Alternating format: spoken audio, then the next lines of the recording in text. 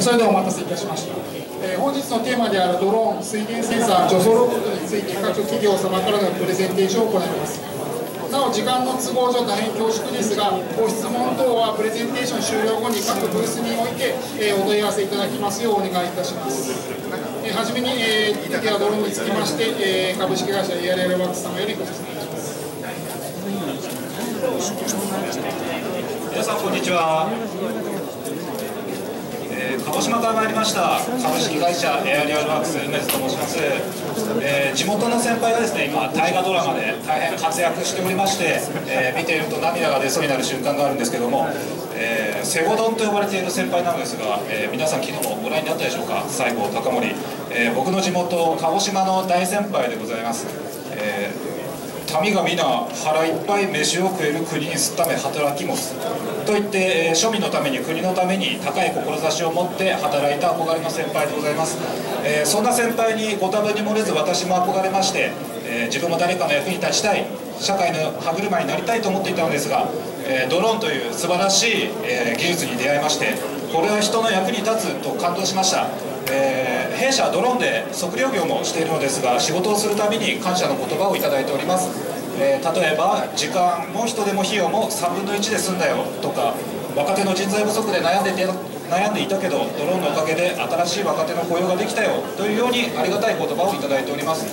えーさらに農薬散布の DJI-MG1 という素晴らしいドローンが出ました。実際に導入した農家さんにも本当に喜んでいただけましてこれは人の役に立つ農家さんのためになると確信しましてこのドローンを紹介しているところでございます、えー先々月の6月にありましたスマート農業の展示会でブースに立っていたらですね、えー熱心に話を聞いてくる方がいらっしゃいました、えー農林水産技術会議の話などで大いに盛り上がりまして意気投合して名刺交換したらあ農水省の方ですか？となりまして、えそんなご縁もありまして本日このような国が課題を吸い上げて現場に実装していく素晴らしい取り組みに参加させていただきました、え日本の未来を変えていくようなこの場所にお招きいただきまして大変光栄でございます。ありがとうございます。さらに農薬散布だけじゃだけではなく市町村での人農地問題解決加速化支援事業でしたり、えー作付け調査作況調査農地測量といった事業にも、えー南の地である鹿児島で官民一体となってドローンで人の役に立ちたいという思いで今取り組んでいるところでございます、えーこの後私が制作しました動画を少し見ていただきまして、えー MG1 の一位代理店内工業深見の方からさらに詳しい取り組みについて説明させていただきます。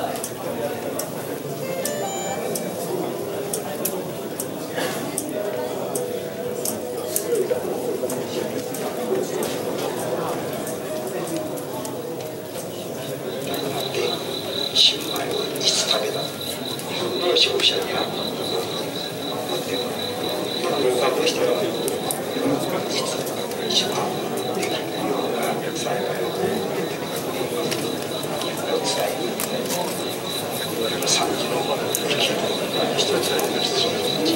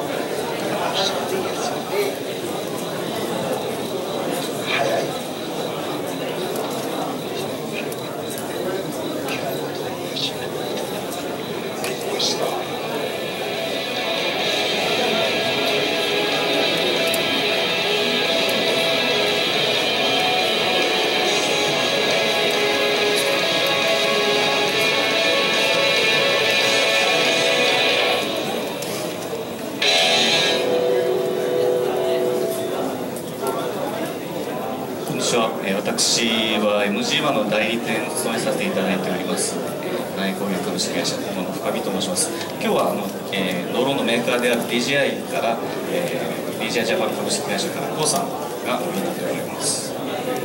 皆さんこんにちは、えー、私 DJI ジャパン株式会社農業ドローン推進部の k o と申します。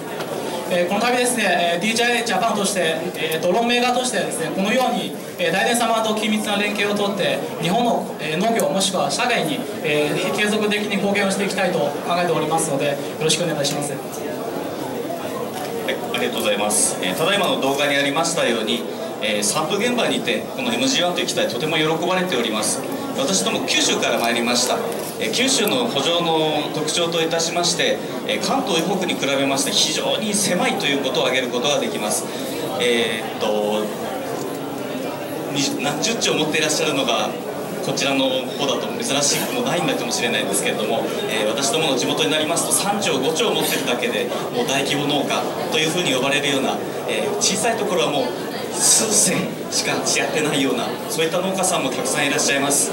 でまた、えー小さい補助でしかもあの障害物も多いです。で先週もですね、えー日の影町という宮崎県の高千穂のすぐ近くのところでスクールと、えー納品をさせていただきました、えーこういったような場所でございます、えー風光明媚なところでございますが田んぼはとってもちっちゃいです。補助もですね、えーこういった感じです。あの段差もありましてとても狭いです。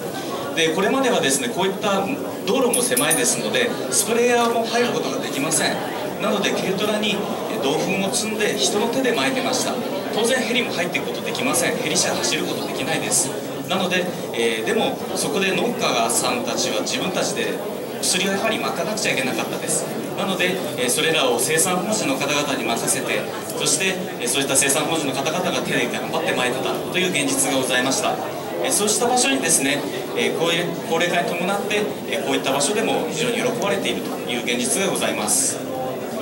えまたその効果についてもですね、え地元の複数の農業試験場において、え産業用ヘリとの比較なども昨年行いました、えその結果 MG1 良い結果を出しております、え私どものブースにおいてですね結果を出しておりますので、えーぜひご覧いただきたいと思っております。ぜひお立ち寄りくださいませ。今年はですね、え他のメーカーのマルチローター機との変、えー比較試験も行っております、えー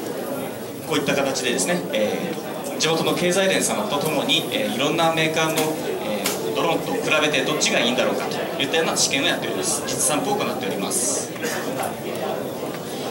えまた今回の趣旨とは外れてしまいますけれども稲作以外の取り組みを行っております。えー5月にはじゃがいもへの実散布を行っています。こちらは16倍希釈であることまた葉っぱを傷つけない飛行しなければならないことなど、えー難しいんですけれどもえそうしたことからもいろいろなノウハウを積み重ねております。先月は和歌山県に行ってみかんへの水による山肌に沿った飛行の試験やデモフライトを行いました。また地元の山間地にて、え栗の木への試験などを行っております。こちらも十分に使えるものであるという農家さんの言葉をいただいております。ちょうど今日ですね今日午前中に10時から鹿児島県の経済連様とともにさつまいもに使える